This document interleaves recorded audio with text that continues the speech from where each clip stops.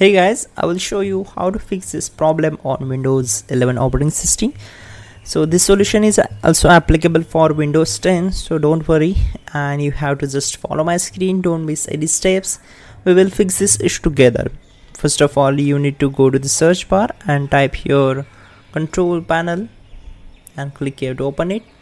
Once we're here on this window you need to select view by as large icons. If you selected uh, previously category so select this large icons and scroll down and select the sound. Once we are here you need to uh, try to disable the speakers uh, and again enable it. You have to just right click on the speakers. You will get this uh, more options so enable it now. Now select this one. Go to properties on this window select the levels tab. Firstly we will uh, increase the speakers volume up to the 100% and now select the enhancements. And you have to check this box that is disable all enhancements. Once done click on apply and then ok. Now go to services. So you have to right click on this start icon select run. And type your services.msc